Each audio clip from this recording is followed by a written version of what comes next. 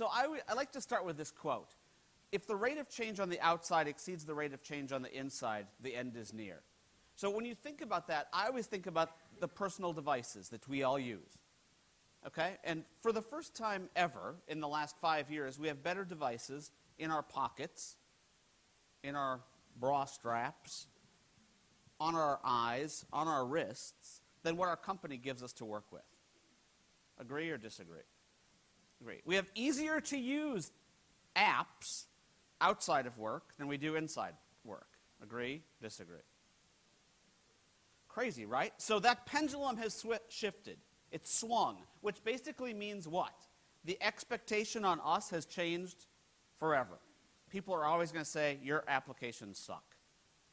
It's really hard to work. It's really hard to get stuff done. Do you ever hear that? Yeah, why? Like, who gives them the right to say that? This. Because that's what they're dealing with. So, our job is to say, how do we actually take that, take that, and turn it into something that we can start to catch up? Now, are we ever going to catch up and beat that? No, never. But do we want to start meeting people in how they actually are serviced outside of work? So, who gets serviced better, your customers or your employees, from a digital standpoint? Customers. Why is that? I'm, I'm sorry? They generate revenue, but our employees don't do a damn thing. Oops, sorry. No, our employees, why, our employees are important too. Without the employees, we can't generate revenue. So it's fascinating time to think about this. The other thing that's really fascinating about this is that a lot of organizations don't have a digital strategy when it comes to people. Notice I didn't even say HR. I said when it comes to people. Okay? Now, the organization that, that I work with, you know, we go out and work with organizations all the time, and the first thing we say is show us your digital strategy, HR or people group. And they always show us a technology roadmap. Digital is not technology. Everyone hear that? Digital is not technology. Technology is the how. Technology is the how of digital. Okay, but digital is different, and we're going to talk about what that means in a second. So, start with a few of these questions. Do you have a growth mindset or a fixed mindset? What's a fixed mindset? I don't like change. We're going to stay the same. Growth mindset, we're going to break glass. We're going to do what that video said. Raise your hand if you have a fixed mindset. Raise your hand if you work for a company with a fixed mindset. Yeah, that made, there's a lot of uh, nervous giggles when I said that. So that, that's awkward, right? And that's happening a lot, you guys, by the way, where organizations are like, we're growth people, yet we work for a company that's fixed. How does it make you feel? Trapped? Constrained? Frustrated? So because of that, we, it's our, how's it going to change? Who's going to change it? We are. Like, that's the only way it will change. There's not going to be a mandate that comes down that says, oh, now we're a growth company. And I know a bunch of you are once again saying, what's this guy smoking? Because it'll never change in our organization, but it can. It truly, truly can, but it has to start somewhere. So I'd love you, for you guys to think about this concept because it's something that I think about a lot. The way that we live inside HR is we disrespect the year we live in. Period. End of story. It's 2018 outside of work, and when I come into work, what year is it? Yeah, I think it's 1998. I think there's a 20 year window that we disrespect. And there's still people to this day that say to me, our group's not ready. No, oh, no. There's no way they're ready to use a mobile device. There's no way that group can do this. Now, I know there's little things that people can't do on mobile devices, and there's certain pockets where there are no mobile devices and there's no connectivity. I totally get that. But in most organizations, we have so much capability. Just think about everything you do. Every single thing you do, and does it match to 2018 standards? if it doesn't, that's what we need to be changing. That's what we need to be thinking about. How do we start to respect the fact that mobile devices aren't going away? The internet is not going away. Do you get that? It's not. So, how do we start to act differently?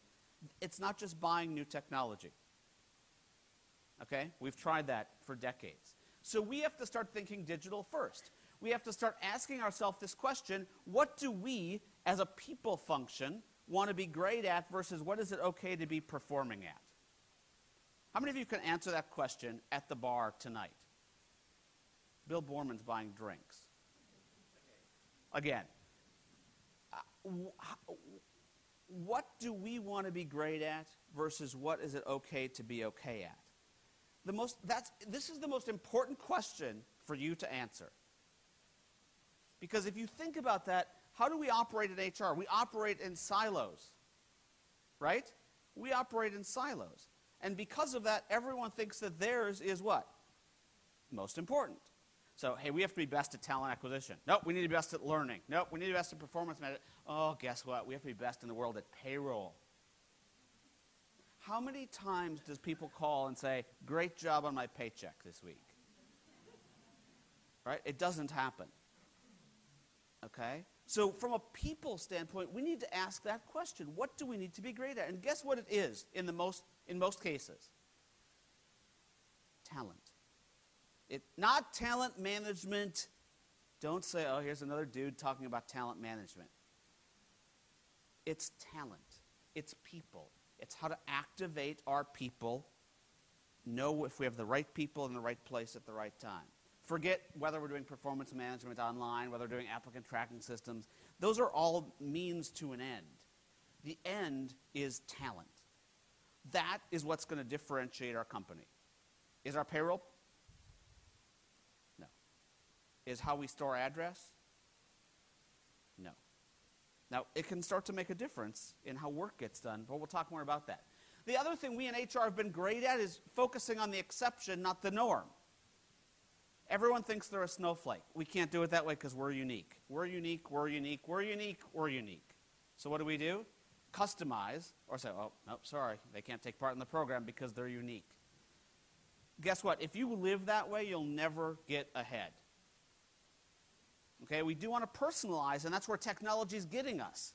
So, what does that look like? It looks like us understanding this. Every organization has its own unique signature or DNA.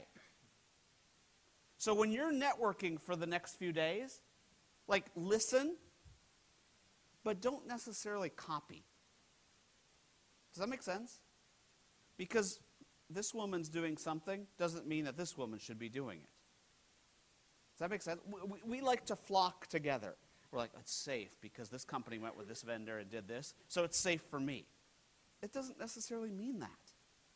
You need to understand what your unique DNA is and what makes sense for your organization. Does that, does that resonate with you all? Okay. That's one of the things about benchmarks is we sometimes get in trouble with benchmarks because what do we do? We try to copy who we're benchmarking against. But what we should be doing is leaping ahead of them. Why? We're not trying to be the same as them, we're trying to compete with them. Right? We're competing for that T word, talent. So to copy them doesn't necessarily do any good. So, what does the equation look like? Now, you guys are at what? An HR tech conference, right? This equation is so, so important. Now, people have been talking about people, process, and technology forever.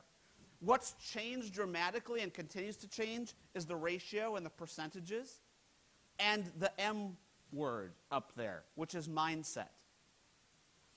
You can take the best technology in the world and plop it into an organization that has a fixed mindset, that has a terrible understanding of its people, and that has really bad, outdated processes. How does that technology work? At the end of the day? What grade does it get? D to an F. Does that make sense? For all of us. You can take crappy technology, understand your mindset, understand your people, have great processes. What's the overall grade going to be? C, B, B, C. Something like that. So, does the best technology win? It helps, but it's not the answer. We need to have the mindset about what we're going to do and the vision, which I'll share with you in a second. We need to understand our people, which means empathy and saying, what do my people do besides come in to do HR things? Did you hear what I said? Like, we hire people for their jobs, not to be HR people. So we have to understand they're doing 99 other things we need to think about our processes. And by the way, remember that shift I said we're in? If you haven't redesigned your HR processes as far as how employees work with tools in the last four to five years, your processes are broken. Broken and dead. Now, I know that doesn't make you feel really good at the moment, but uh, a takeaway for you to take back how do I change those? And then the technology, if you get the rest of that, guess how that technology works? Brilliantly. We watch this over thousands of companies. Companies that quote unquote go live, and they're like, that's not what we saw in the demo. Oh, but it's coming in phase two.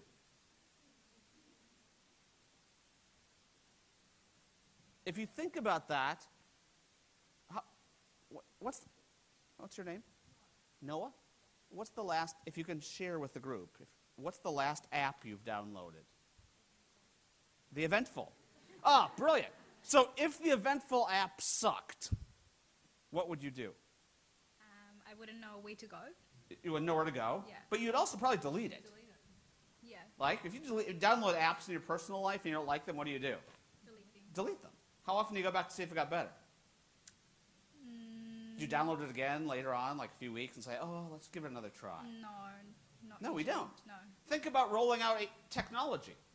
In phase one, if it's like, eh, and you're behind the scenes saying, hey, just wait for phase two.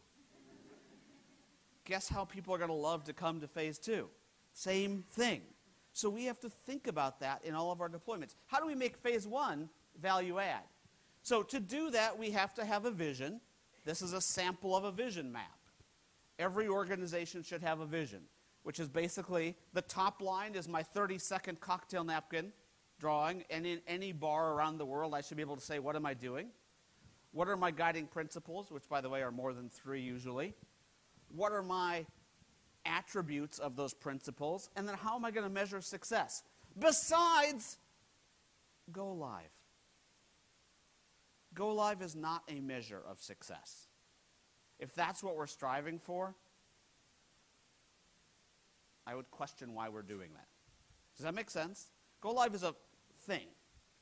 I think it actually should be called go begin, not go live. Because a lot of people, once you go live, what do you do? You take all the good people off the project. It's a plant that never gets watered. Once you actually go live, that's when the road is there for you to start driving on and doing really cool stuff. So think about that. You have to have a vision. And then you have to have a roadmap. But your roadmap has to combine thinking, capabilities, technology, all in one. It can't just be a technology thing. Because remember what percentage of that roadmap and success technology played? 10. So if all you have is a technology roadmap and you don't have all that other stuff in it, what do you get? An incomplete process. So you have to think about what that looks like. So it's fascinating being in this space for 25 years. Six to eight years ago, there was one group that asked this question if we just got to the cloud, everything would be perfect. And I was looking in the vendor hall, there's still people that have cloud out there, which is awesome. I, cloud is cool, but cloud does not solve your problems. Does that make sense? Cloud is a delivery vehicle. Is there good software in the cloud? Yes. Is there bad software in the cloud? Goodness, yes. Okay? When CHRO say, if we just get to the cloud, everything will be good. Like, that's not the holy grail. Okay? The cloud gives us the ability to lower that ratio to 10% so we can truly focus on things that are going to make us successful. So there's three groups. There's a group that's working on it, there's a group that's there, and there's a group who's really the digital pioneer group. You guys can self identify, I'm not going to ask, which where you are. But there's a bunch of people that are in the cloud today and they're like, nothing changed. And guess what? For all of us old timers, that's been the same way from mainframe to DOS to Windows to client server to web. We've been doing the same thing. We keep saying, oh, if we just got to Windows. There, was a group of people that said, for those of you that don't know what I'm talking about, there was a group of people that said, if we could just go from DOS to Windows, everything would be great. Do you remember? Does anyone, did anyone ever say that? Because I heard people say that all the time. Now it's like, oh, if we could just get off client server and we could get to the cloud, everything would be great. The technology is not the thing, you guys. The technology enables what we're trying to do. At the same time all that's happened, this whole consumerism and experience thing has hit us. So I'm going to give you guys four key things to focus on. The first thing is how important data is and having this thing called an anti-fragile foundation. What's an anti-fragile foundation? A foundation that is so solid that if something hits it, it doesn't break. Okay? If all of a sudden I acquire a company, cool. If all of a sudden I divest a company, cool. If all of a sudden I have to terminate 3,000 people, cool. If all of a sudden I have to use position management, cool. How many of you have a solid foundation that's got better data about your people than LinkedIn does? One person, the same guy that wants to buy drinks tonight. The troublemaker. That's do you hear did you guys hear the way I asked the question? How many of you have a solid foundation that has better data about your people than LinkedIn does? There's one, two people that raised their hand. That's not good. Because where we're moving to requires that. It requires us to think that data is sexy. Raise your hand if you think data is sexy. I'm sorry? Not in Excel. Oh, now we're being very specific afterwards. like, not the naked body, but once they're dressed. No, just kidding. Um, that didn't make any sense, what I just said. So, count of three. I want you guys all to say data is sexy. One, two, three. Okay, let's do it one more time, louder. One, two, three. Yeah, and the way you say it is so much sexier than my American mutt accent. Yeah, data is sexy. And it's really important to understand that and think about your job and all of our HR um, business partners and generalists' job is to keep data sexy. Like if I could have a t-shirt, maybe I'll have to get it. Keep data sexy. Because the cleaner our foundation is and the more solid our foundation is, guess what? it gives us the ability to do so much stuff. There's two types of data. There's structured data and there's unstructured data. What is structured data? Structured data is the stuff that sits in your core HR system. It's very structured. It's table driven. What is unstructured data? Everything else. All of the knowledge documents, the PDFs, the Word documents, and the tribal knowledge that sits up here. Oh, if I just talk to Jane, it'll be fine. Oh, Bill knows how that process works. Oh, yeah, Bob knows that. That's unstructured data. To create a successful workforce or people experience, it takes 20% structured data and 80% unstructured data. Everyone got really quiet. So what does that mean? It means we have to think more about more than just what's in our core HR system right? We have to think about the rest of the world, the rest of the knowledge, the rest of the content that's around the organization. Now, if I have great data, what do I do? I get credibility. If I have credibility, I can deploy more capability.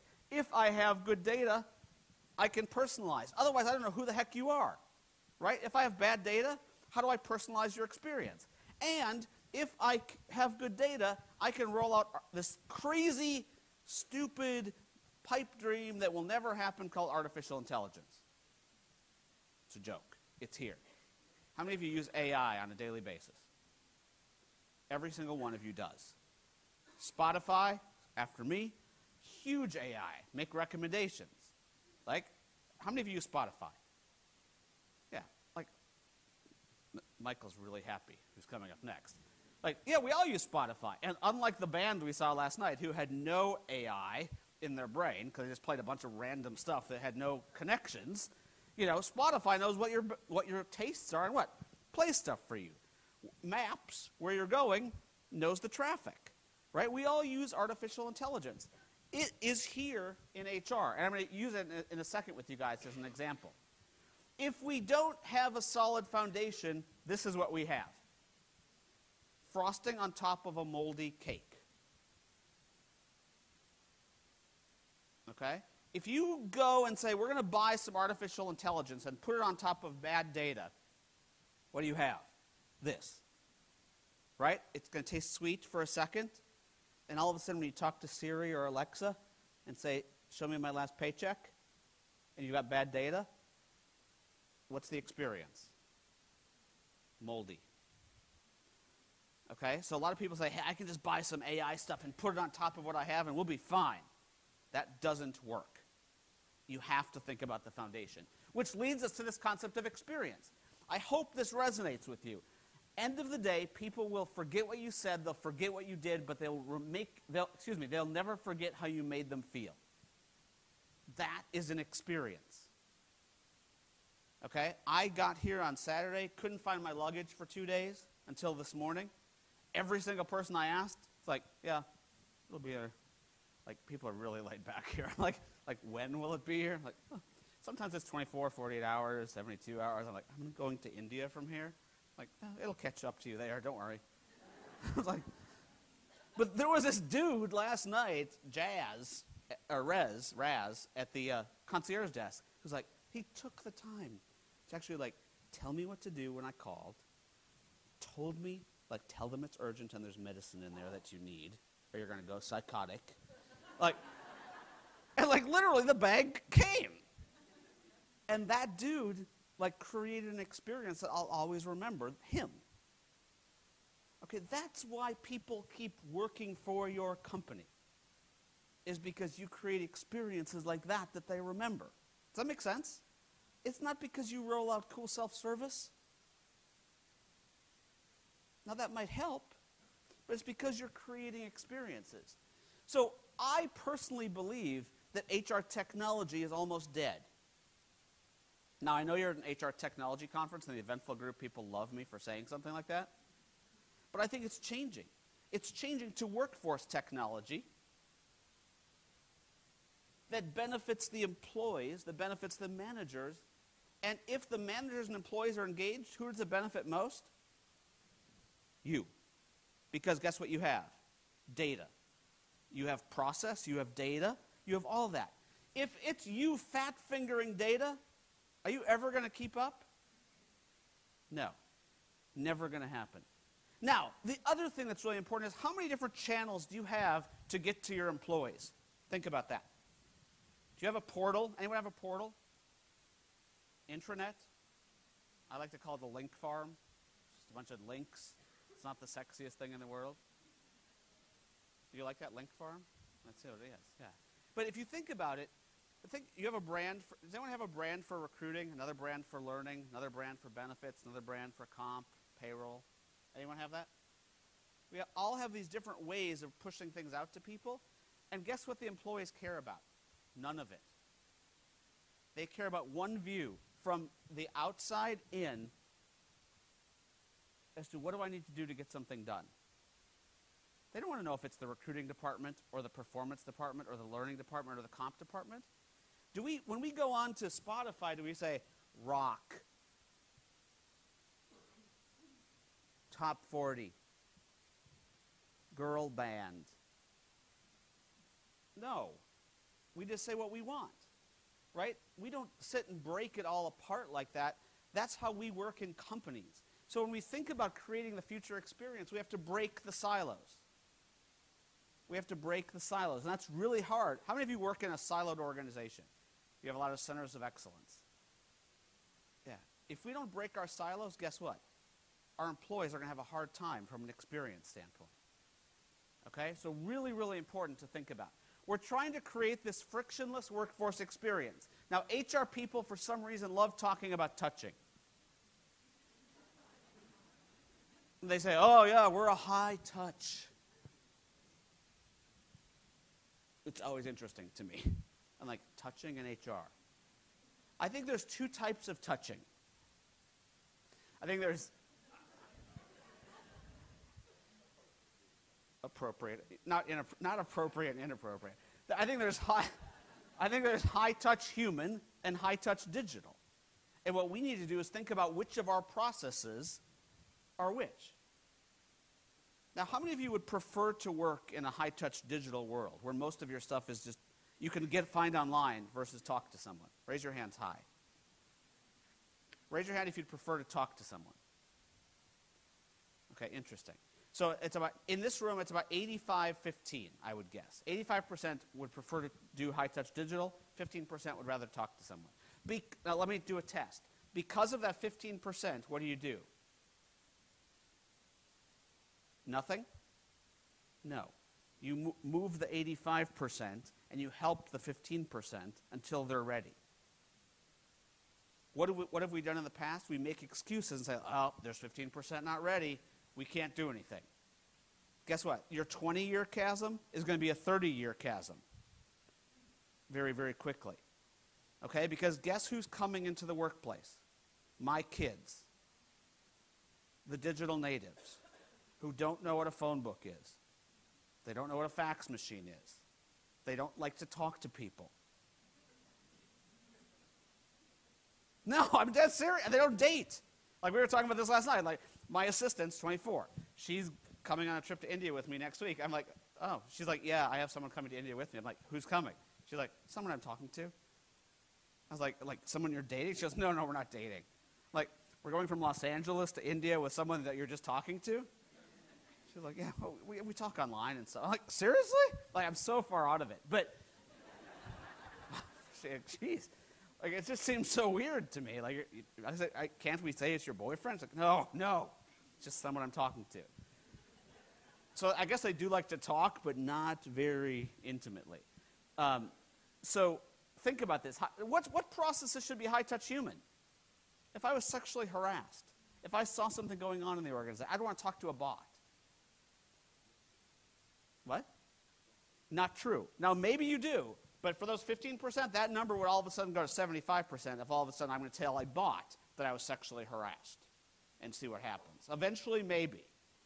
But let's move into this world a little bit uh, on a pace.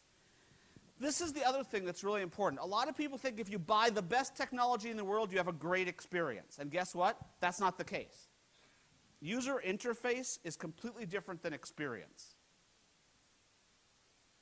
Two examples. Well, let me, let me use three examples. Uber. How many people like Uber? Do you like the user interface? It's pretty easy, right? How many of you went to change management training? No? Right? What if the car never showed up? What's the experience? Bad. Good interface, bad experience. Shopping. Pick your favorite shopping site. Good interface. If the product never comes, bad experience. Tinder. so dangerous to go here. You know, I find someone on Tinder. What, how do they look? They show up. Look different. Good interface, bad experience. Does that make sense? So the technology is an interface. The experience is something different than that. So what creates an experience? Transaction plus interaction. Okay? Self-service transactions alone are not experiences. They're transactions. Experiences is the interaction piece. And that's where the most important component comes in the unstructured data, where you're building quote unquote trust.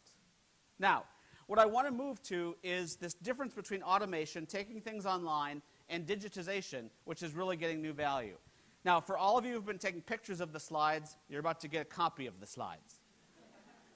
I don't know if you're taking pictures of the slides, or many of you look like you're just taking selfies. But um, if you send a text message to that number,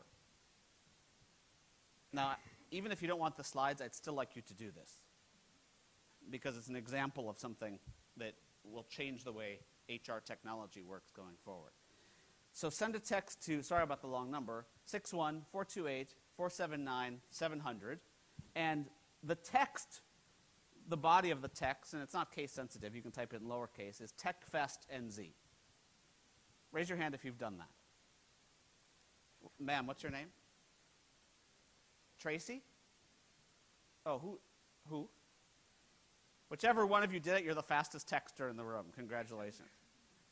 What did, did, it, did it respond to you? Yeah, it said, Hi, I'm Simon, your bot. Happy Hold Monday. on, whoa, whoa, whoa, whoa, whoa. What did it say? Hi. Slower. I'm Simon, your bot. Happy Okay. Monday, New Zealand. A bot named Simon. Yeah. Interesting. Okay.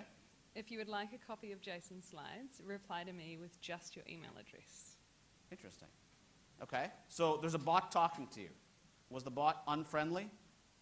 No, the bot was friendly. He knew I was in New Zealand. Yeah, a little personalization. Simon, same guy that was up here a second ago. So put in your email address, and what you'll have in your email are the slides. Okay? Now, did anyone get the bot to work? Raise your hand if the bot responded to you.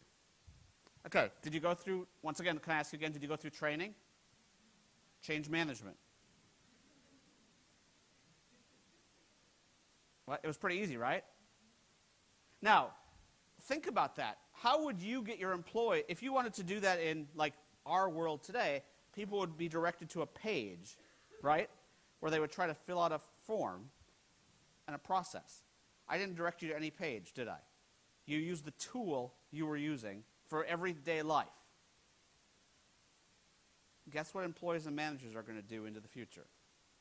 That. They're not going to go into self service screens. Whether you use SMS text, Yammer, Skype, Facebook, Slack, WhatsApp, whatever your tool of choice is, that's how you're going to interact. Does that make sense? So the future look, is something called headless apps. Right? These apps, like these core HR systems, if you've got good data, the head is whatever your people use. Does that make sense? It's a really important point to get across because hopefully I'll get invited back here someday, even though based on time management, maybe not. Um, in two years, I don't think people are going to be using self service screens. I think they're going to be doing everything through SMS text or voice. Uh, that's not crazy talk. Like, trust me, if I, if, like I said, if I'm coming back, I will sit here and show you all. And you probably will show me how people are doing it. So just keep that in mind. So these moments that matter having a baby, getting a promotion, buying a new house, being in the hospital those are the things that get people hooked on experience. And our goal is to move from adoption to addiction. Does that make sense? So don't measure adoption. Did people sign in? Are they addicted? How many of you are addicted to your device? How many of you slept with your device last night? In the same room? Oh, oh, yeah, that's a, yeah. I'm not addicted, but yeah, I slept with it in the same room. I didn't mean slept with it in bed with you. Yeah, so we are addicted, but that's not bad. That's how we work today. But guess what? Are people addicted to self service? You guys know what the top three self oh, here, here one of the top three self service transactions in the world deployed having a baby. When's the last time you had a baby? Seven years. How about you? Thirteen. How about you? Eight. How about you? Thirteen, three, eight, seven. If you used an app every 13, 7, or 8 years, would you be addicted to it? No. Would you say it was a great experience? When's the last time you had a baby? You don't have kids? Uh, okay, so think about this. Would you have a baby so you could use the self service? Because it's such a great experience. That was a joke. she was thinking about it. Like, no, don't. Trust me with two. Don't. Don't. It's not that good. But if there's value, that's what's going to get people using the tools. So our job is to rage with the machine, not against it, and realize that as HR and IT professionals, we need new skills and a new mindset. Some of those things are agility, a focus on strategy, the ability to market. to get people bought in, the what's in it for them, not me. How to tell stories, how to think digital first, how to be prescriptive, how to develop processes. And Tracy, right? What, back? Rachel. Why did I get Tracy? Okay. Rachel, what did she read that Simon wrote in her bought? A conversation, right? Now, that was a process, but in order to make it sound interesting to Rachel, what did I develop? A conversation. So, a skill needed going forward is not just process design, but conversation design. Isn't that interesting? Like, we're not going to be just designing processes, we're going to be designing conversations. And those conversations are going to eventually be voice conversations that I'm going to have with Siri or Alexa or some voice tool. So, this is cool stuff, isn't it? Like, these are cool things. This is why. Um, so, I just finished a new book last week um, that I have a few copies with me, but over in the speaker's corner, I'll show you the book. Um, you can order it online. But um, I talk about process and conversation design, and one, I, that's why I think this is such a cool time to be in this space. Because we're dealing with stuff that's not HRIS. I don't even think people should be called HRIS anymore. You know what I mean? Like, that's coding, it's developing, it's report writing. This is what we need in order to be successful with our people experience. So, just to wrap up real quick, nothing will change unless we do. It's not going to come from the top. It has to start with us. And I think for the first time, at least in my career in this space, that the people are ready. Like the people, the, the employees and the managers are ready to receive and consume information on their mobile devices, on their desktops, and their laptops like they've never been before. And they're open to it. Right? Now, there's still going to be people that talk about security concerns and things like that. But for the most part, they're open to it. Now, it, they're open to it if you what? Use the data. Think about the talent profile. How many of you ever have a, do you have a talent profile in your company? Yeah. Most organizations, they get, I mean, most people will fill out their, are you on LinkedIn? Yeah, like your LinkedIn profile probably is more complete than your talent profile in your company. Why is that? Because she gets more, what's your name? I shouldn't call you she. Sarah gets more value from having a good LinkedIn profile than she does from having a complete talent profile in her company. If the company used the talent profile as a way to promote her and train her and grow her, would she fill it out? Totally. But that's why buying the technology alone can't work. So our people are ready. They're doing this. They're thirsty. How many of you have a Tinder profile? For reachers per yeah. Find Bill on Tinder. Thank you. Our processes can be ready, right? Our processes can be ready. They're ready to be changed. But they're not going to change themselves. And the technology is ready. The technology is more than ready. The technology has surpassed us. So remember, it's 2018 outside of work, it's 1998 inside of work. So, final question for you guys are we ready? And really, what I would love for you guys to take from this whole, my presentation, but most importantly, the whole conference, is that you spend your two days answering this question Are we ready? And what do we need to do? What do we need to do as a company, as a team of people who have come to this event to get ready? Thank you guys very much for your time.